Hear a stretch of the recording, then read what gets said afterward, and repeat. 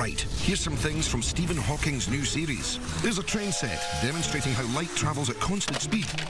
They're showing a string theory, that's clever.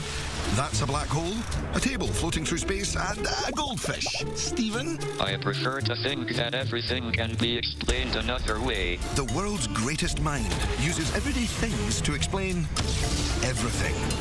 Stephen Hawking's Grand Design. Coming soon, only on Discovery and HD.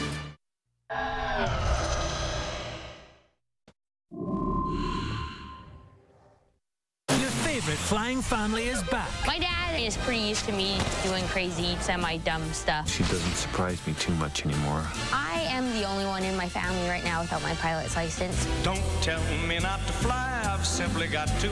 If something I noticed you takes say, a uh, spill, it's whatever. me not you. Don't The brand new series. Oh,